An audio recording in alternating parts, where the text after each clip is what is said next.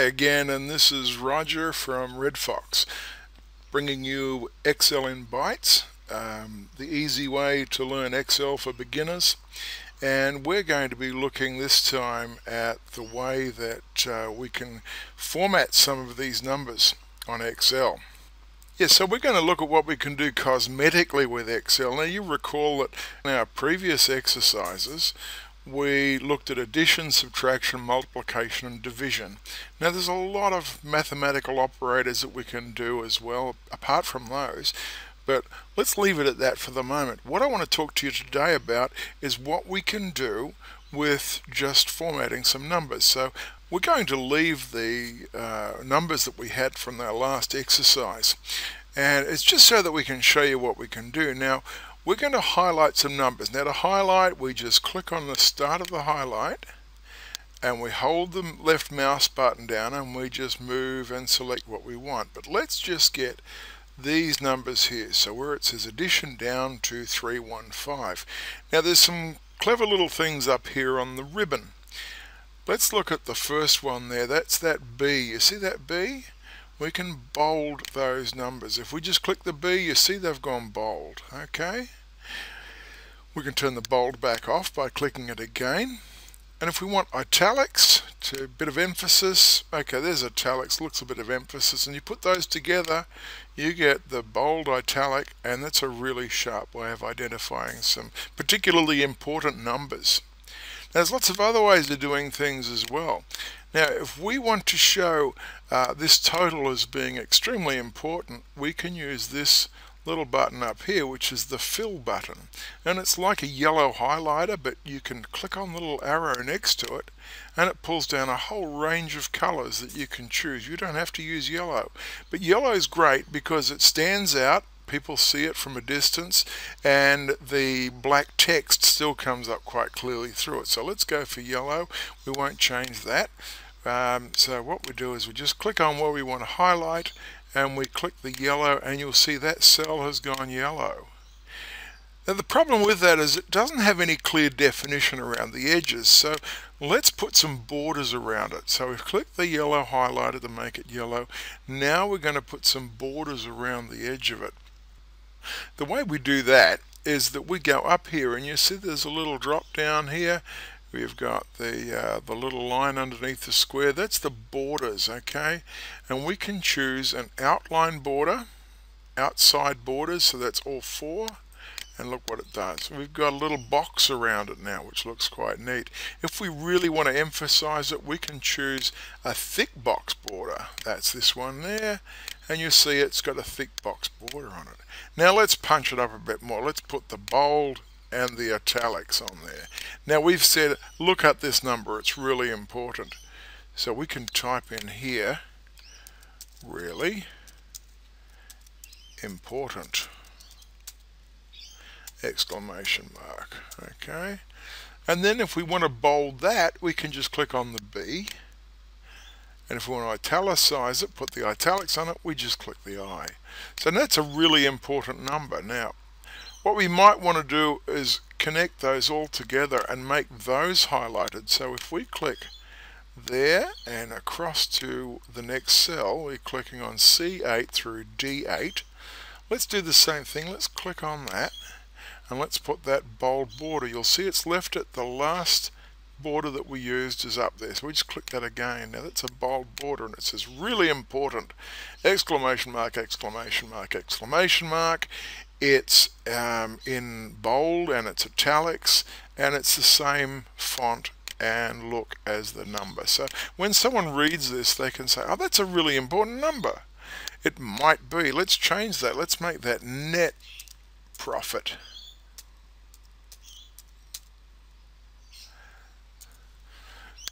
Now net profit is a really important number in a business, so we can call that net profit.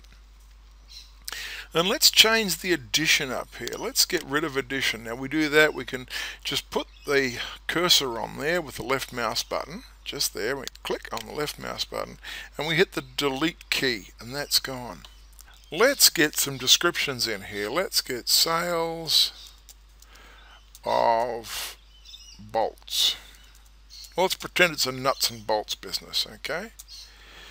and we'll put sales of and you'll see what it's done. I put sales. I put sales up there and it's automatically put of bolts. It gives me the option to just choose the same description if I want. Let me just do that again. I just click hit the escape key and I put sales. And as soon as I put the S the only other text option above that is sales of bolts and it just assumes I want to do the same thing. But this say I want to, I want to say sales of uh, let's say washers. So it's a nuts and bolts thing. Now this one here we're going to put now if we put sales it doesn't know what it's going to be. So we put sales of threaded rod.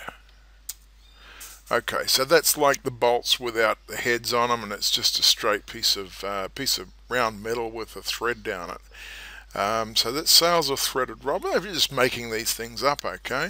Now we've got um, sales of spring washers.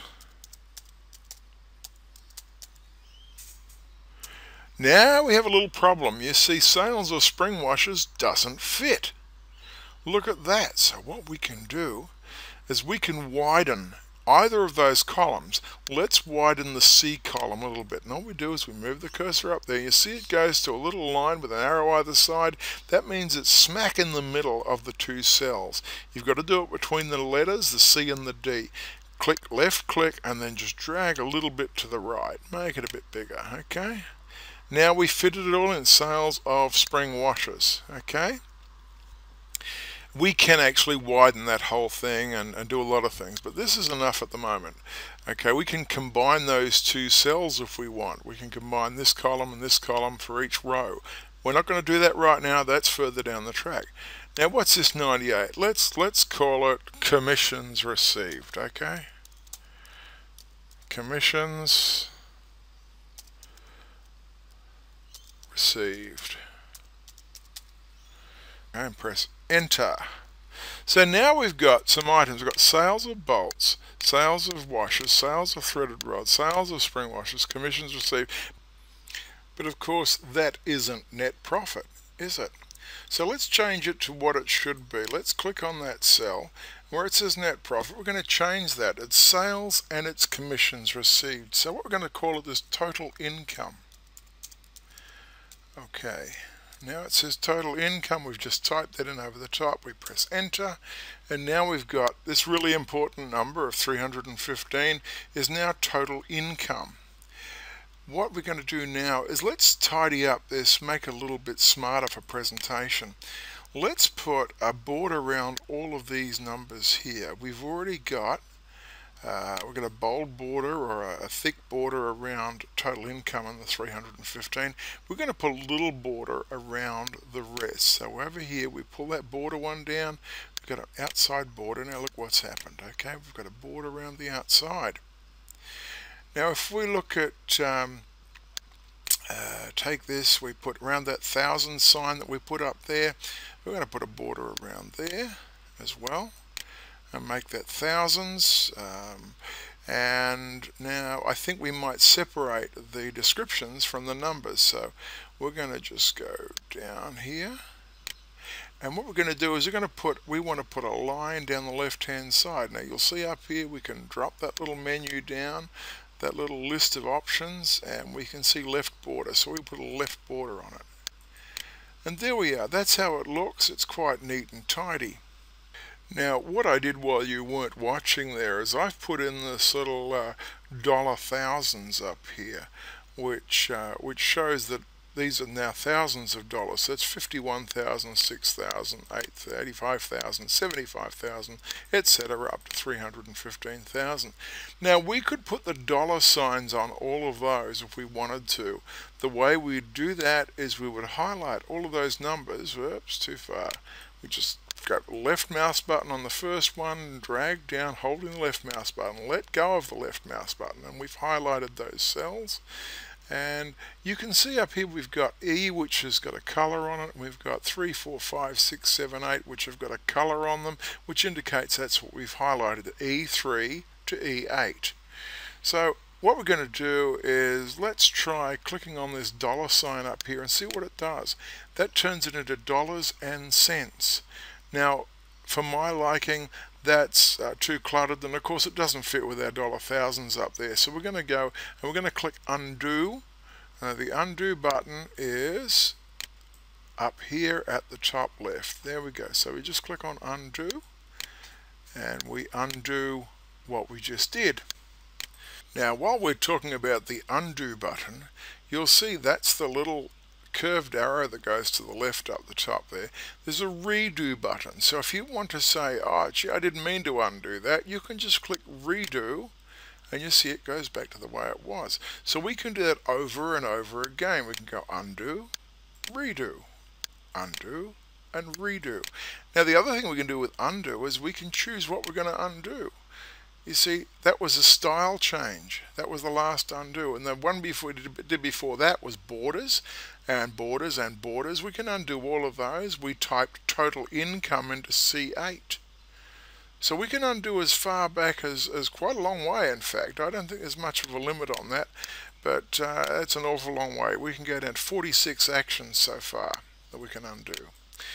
The most important thing is usually only undoing one or two things. Sometimes you do more. But the important thing is we want to undo that now so that we've got the numbers the way we want them. Another really important thing that you can uh, do with Excel is you can change the alignment of the characters inside each cell. Now for example you see that dollar thousands that I typed in when you weren't looking. Um, if we go up here we see that uh, in the alignment uh, box in the ribbon, we've got that centered. So that's center text, and you see it's right in the middle of the cell. It's not to the right. We can make it go to the right by clicking that one. Or we can make it go to the left by clicking that one. But we don't want it there, we want it in the middle. So you can do that. Now similarly, if you've got, if you make your cells bigger, higher from top to bottom, we can just do that by dragging like that. We can move where that appears in uh, vertical mode. So there it is in the middle of the cell vertically, and there it is in the top of the cell vertically, and there it is back where we want it in the bottom of the cell vertically. Now we're going to take that cell back to where it should be, and it should be 12.75 points. We'll just take it back. That's close enough. 12.75 points to where it was. And you'll see when you click on that, it tells you the height. It's 12.75 points or 17 pixels. And that's a really important thing to know. You can make things the same height um, or the same width as you up here. It tells you width 8.43, 8.29 just by moving. Okay. So we've looked at some of the ways that you can highlight, you can change the appearance of your Excel numbers. Uh, there's a lot more we can do and, and let's uh, let's look at another one here. What if we wanted to get rid of all these these cell markings all the way around here okay can see we've got all the little borders between the cells there's a neat little way we can do that and the way we do it is we click up on view and on view, you see there's a little checkbox in show hide. View, show hide, and there's one there that says grid lines. What we do is we uncheck that box. And you see all the grid lines are gone. And now it's just a clean white sheet to work with. And that can be quite handy if you're doing forms and you want people to fill in certain areas. Um, you get rid of all those, those little grid lines and it looks less cluttered but we want to put those back because we don't want to take them out for the moment. There's a lot more to learn but that's enough for today and what we're going to do next time is pick up where we left off. We're going to use this worksheet exactly as it was and we're going to take this further and show you some more things that we can do with it. So look thank you very much for watching Excel in Bites. Practice your Excel, learn it well, you'll find out lots of exciting things that you can do with it. Until next time, this is Roger from Red Fox, signing off.